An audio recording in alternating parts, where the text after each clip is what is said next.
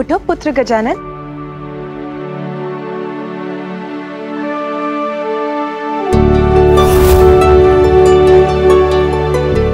कहाँ चला गया?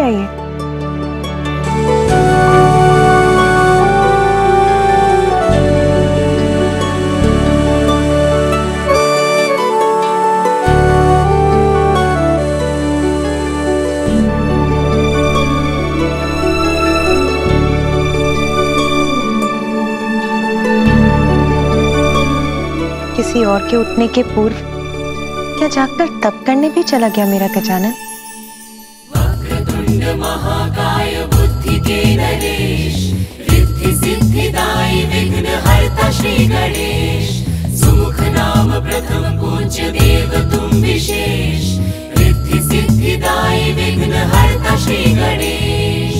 उमा सवेता के पूर्व जागे करने पहुँचे गजानन आगे। ज्योति समक्ष पद्मासन धारे, अचरज दुलार संग माता निहारे। तप में विनायक रमे लगाए ध्यान, माता की उपस्थिति का भी नहीं भाव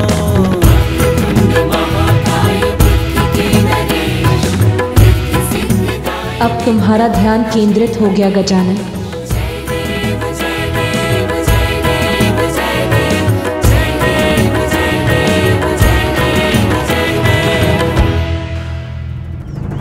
मैं तुम्हें शाप देता हूँ। जिन शक्तियों पर तुम्हें इतना अहंकार है, वो तब तुम्हारे लिए व्यर्थ हो जाएँगी, जब तुम्हें उनकी सबसे अत्यधिक आवश्यकता होगी।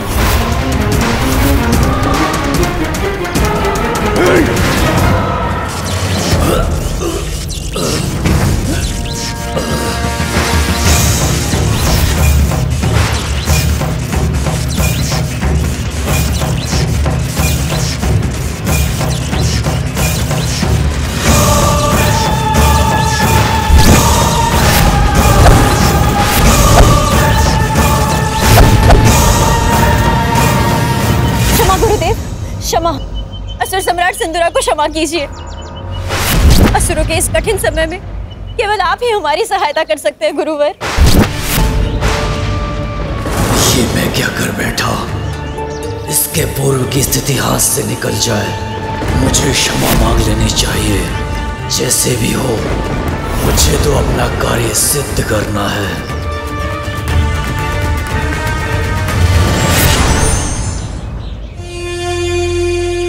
गुरुवर, मैं आपका अपमान करने नहीं, आपसे सहायता लेने आया हूँ। एक शाप के कारण मैं असुर बना, और अब मेरे ऊपर एक महासंकट छाया है। असुरों के कुलगुरु होने के नाते अब आप ही मुझे मार्ग दिखा सकते हैं। मुझ पर कृपा कीजिए, मेरी सहायता कीजिए गुरुवर, सहायता कीजिए। कैसी सहायता चाहते हो। तुम मेरी समस्या का समाधान मात्र एक उपाय महादेव और देवी पार्वती पुत्र गजानन के अंत का उपाय मुझे बताइए गुरुवर। असंभव! महादेव के पुत्र को हानि पहुँचाने में मैं तुम्हारी कोई सहायता नहीं कर सकता। चले जाओ चले जाओ। चला जाऊँ, गुरुवर? ओह, समझा। आप तो महान महादेव भक्त है ना? किंतु असुरों के प्रति भी तो आपका कोई दायित्व है। आप भूल रहे हैं, गुरुवर। असुरों ने आपको तब स्वीकार किया था। आपको अपने गुरु का पद देकर आपको सम्मानित किया था। जब देवताओं ने आपका तिरस्कार किया था इसलिए आप असुरों की सहायता के कर्तव्य से अपना मुख नहीं मोड़ सकते।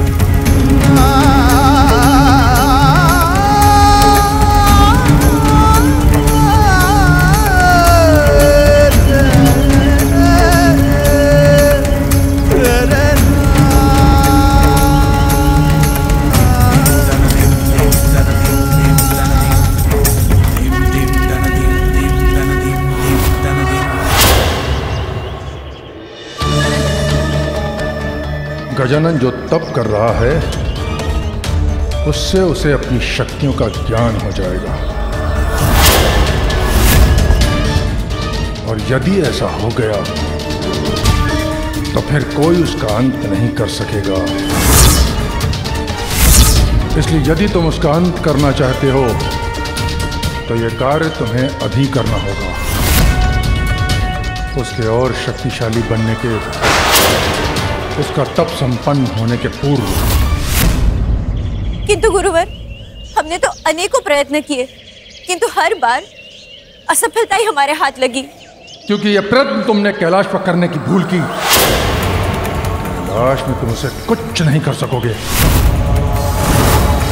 गजानन को हानि पहुंचानी है तो तुम्हें उसे कैलाश से बाहर लाना होगा। कैलाश से बाहर, गुरुवर? किंतु कैसे? गजानन की साधना सफल होने के पूर्व स्वर्ग पर आक्रमण करना होगा। उस पर अपना आधिपत्य स्थापित कर वहाँ स्थित अमृत का पान करो, जिससे तुम अपराजय हो जाओ। फिर तुम गजानन के तप को भंग कर सकोगे। उसका हरण कर उसका अंत नहीं। अमृत पान करूँगा मैं।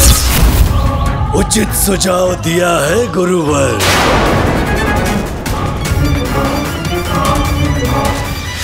किंतु स्मरण रहे सिंदूरा तुम्हारे पास बहुत कम समय शेष है। स्मरण रहे।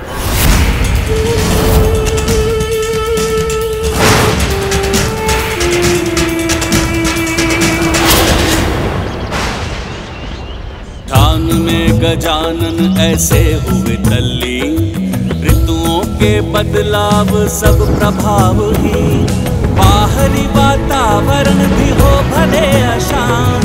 पार्वती सुख शांत, दृढ़ और विक्रांत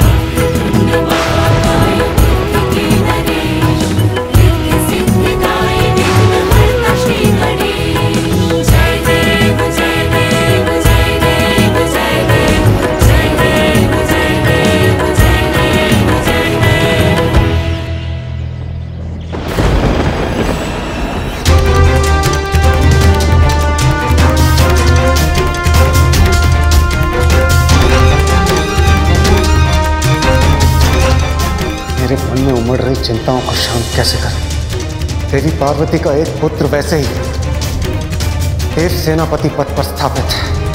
अब यह दूसरा इस तप से अतुलित शक्ति का स्वामी बनने का प्रयास कर रहा है। कदाचित आप व्यर्थ ही चिंता कर रहे हैं इंद्रदेव इस कठोर तप को पूर्ण करने में तो गजानन को अनेकों वर्ष लग जाएँगे। सूर्यदेव विपत्ति पूर्व सूचना देकर नहीं आते। अचानक ही आक्रमण करती। भूला नहीं हूँ मैं गजानन की क्षमताओं को। किस तरह उसका परिचय उसने हम देवताओं को दिया था। इसलिए हम देवताओं की भलाई इसी में है कि हम सतर्क रहें। कदाचित वो तप में सफल हो। पुनः आप सभी देवताओं का अपमान करेगा। और मुझसे मुझसे मेरा सिंहासन अवश्य छीन लेगा। चलेगा, अवश्य चलेगा तुम्हारा सिंहासन देवराज इंद्र। किंतु गजानन द्वारा नहीं मेरे द्वारा।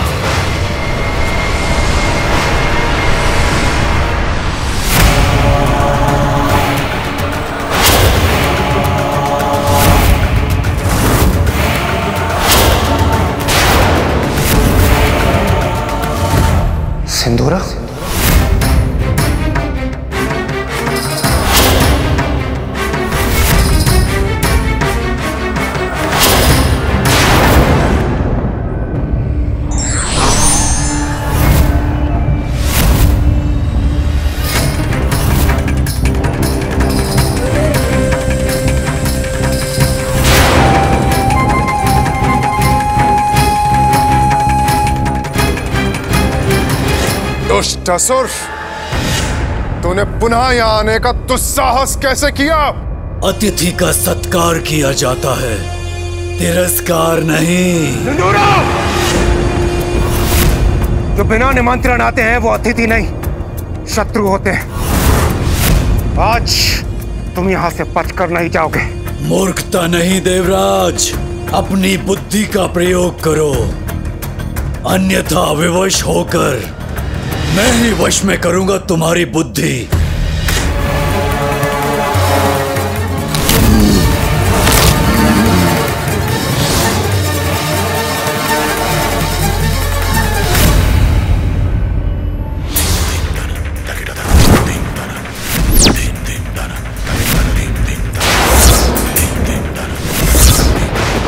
झुकाओ अपने अस्त्र। अभी इसी क्षण। अब तुम सभी मेरे नियंत्रण में हो। उचित है अब।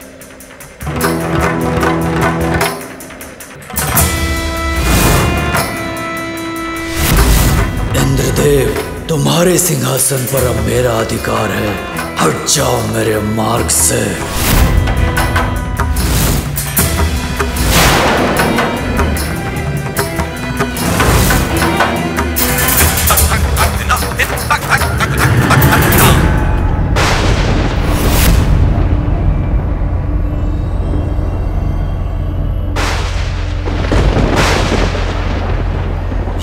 कार्य तो संपन्न हो गया। अब जो कार्य करने आया हूँ, वो प्राप्त करना है मुझे। अमृत चाहिए मुझे।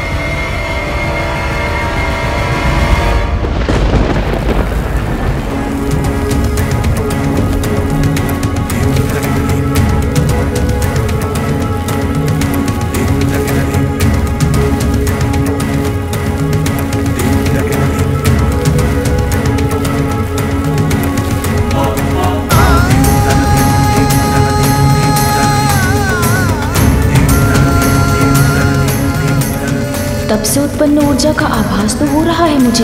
अर्थात अब मुझे तब को अगले स्तर पर ले जाना होगा। किंतु ये मुझे कैसे ज्ञात होगा कि वो अगला स्तर क्या है?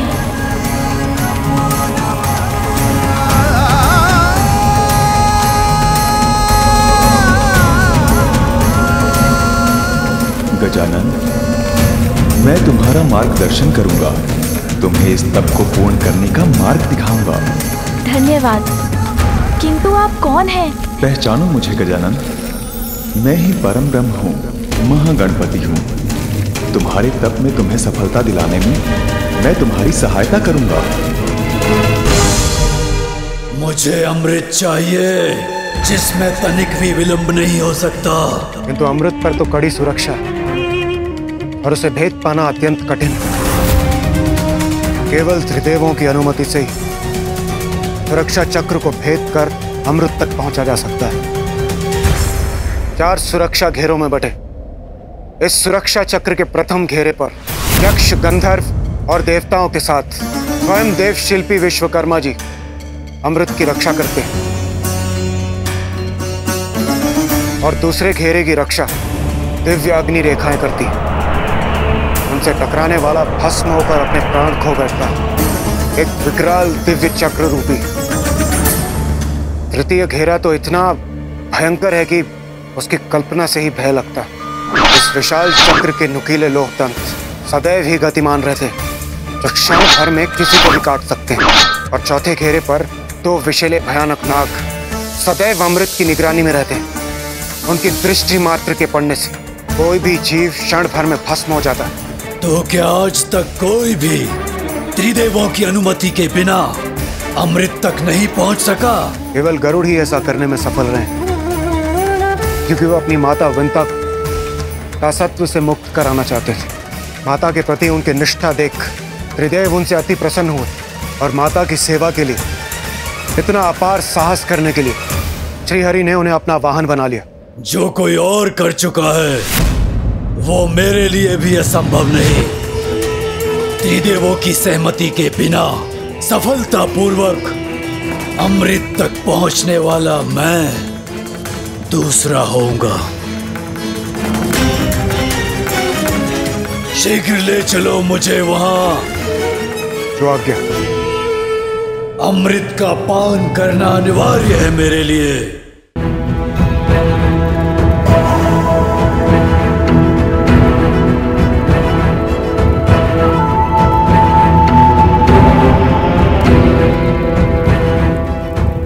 अब अपने नेत्र बंद करो और अपना संपूर्ण ध्यान अपनी रीढ़ के मूल पर स्थित अपने प्रथम चक्र पर केंद्रित करो।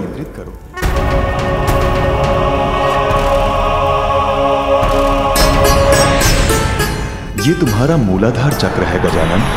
तुम्हारी सुप्त ज्ञान का आधार मूला चक्र, जो कुंडलिनी शक्ति का मूल भी है। किंतु वो शक्ति अभी गहरी निद्रा में है।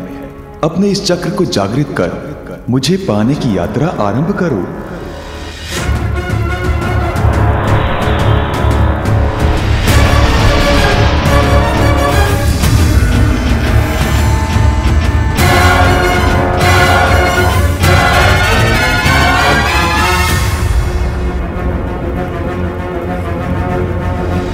तुम्हारे भीतर कुंडलिनी शक्ति जागृत हुई है। जिसकी अपार ऊर्जा के कारण तुम्हें कष्ट हो रहा है, अपना ध्यान केंद्रित रखो गजानन। स्थिर रहने का प्रयत्न करो। ये शक्ति मेरे भीतर की नकारात्मकता को जलाकर मुझे पवित्रता प्रदान कर रही है। कुछ पाने के लिए कष्ट तो सहना ही होता है। मैं सहूँगा इस कष्ट को, अपने ऊपर प्रभावी नहीं होने दूँगा। सभी मुझमें ही हैं और मैं ही सब में हूँ।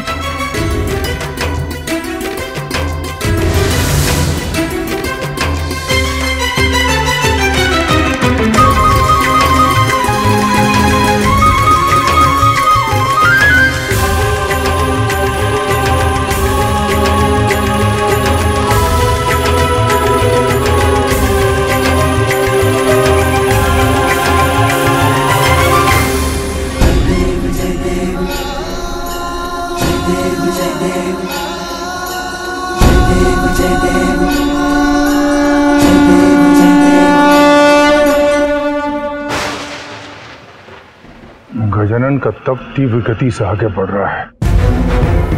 इंदिरा को शीघ्रता कर अमृत तक पहुँचना होगा, अन्यथा बहुत विलंब हो जाएगा।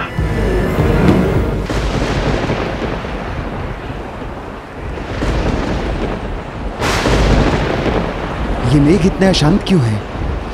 कहीं कोई संकट तो नहीं? मुझे सतर्क रहना होगा।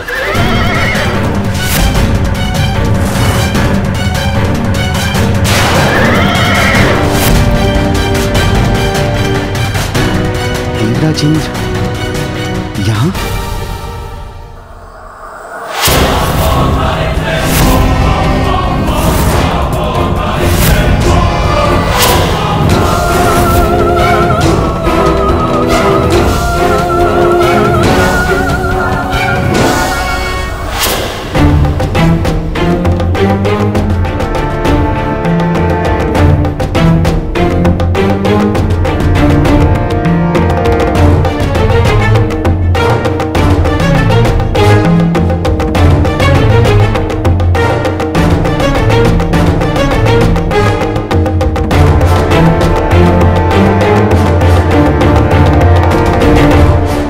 देवराजेंद्र सूर्यदेव, वायुदेव, अग्निदेव, आप सभी यहाँ?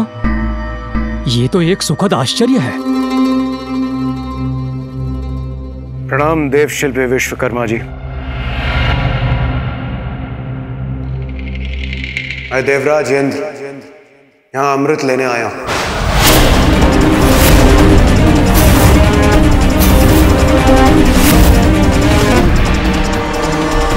हमें आगे बढ़ने दीजिए।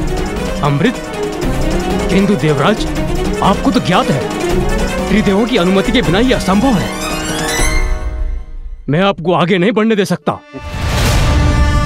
अनुमति नहीं मांग रहा हूँ। आदेश दे रहा हूँ आपको।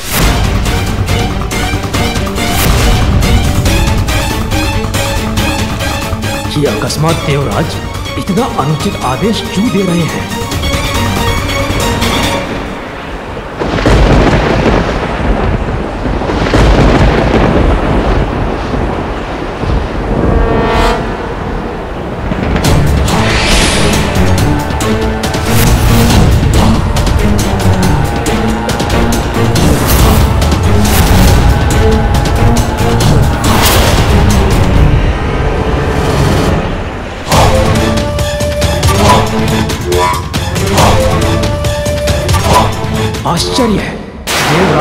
अन्य देवता एक असुर को लेकर आए हैं यहाँ।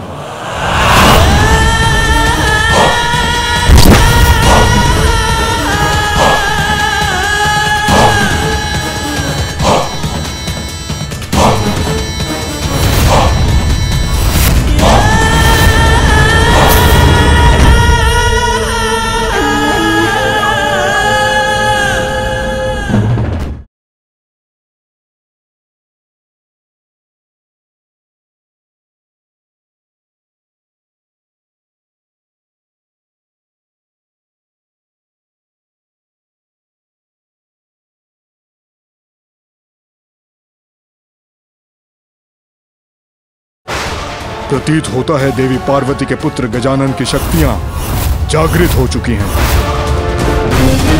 यदि सिंदूरा अभी भी अमृत तक नहीं पहुँचा तो कदाचित अब बहुत विलंब हो चुका है। नमामि देवा नमामि देवा, जय गणराजा, नमामि देवा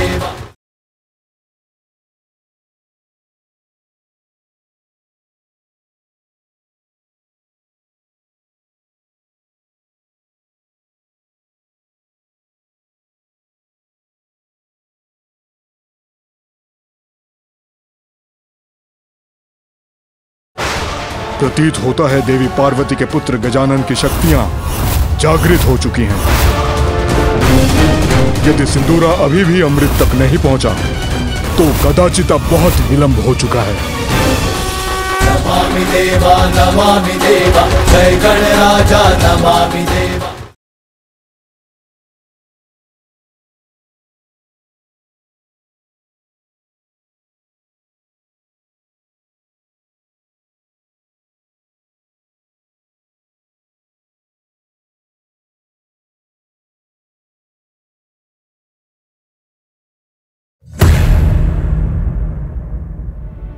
उठो पुत्र गजानन।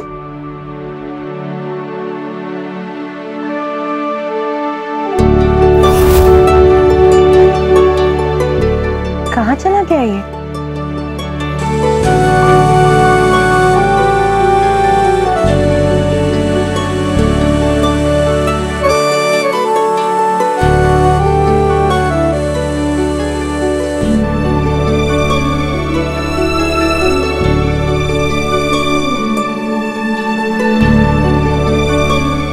किसी और के उठने के पूर्व क्या जागकर तप करने भी चला गया मेरा गजानन वक्रतुंड महाकाय बुद्धि के नरेश रिद्धि सिद्धिदायी विघ्न हरता श्री गणेश सुमुख नाम प्रथम पूज्य देव तुम विशेष रिद्धि सिद्धिदायी विघ्न हरता श्री गणेश। उमा सवेता के पूर्व जागे करने पहुँचे गजानन आगे ज्योति समक्ष पद्मासन धारे, अचरज दुलार संग माता निहारे। तप में विनायक रमे लगाए ध्यान, माता की उपस्थिति का भी नहीं भाव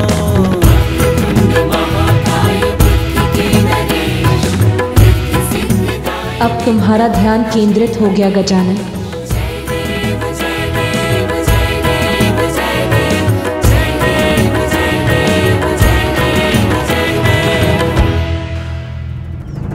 मैं तुम्हें शाप देता हूँ।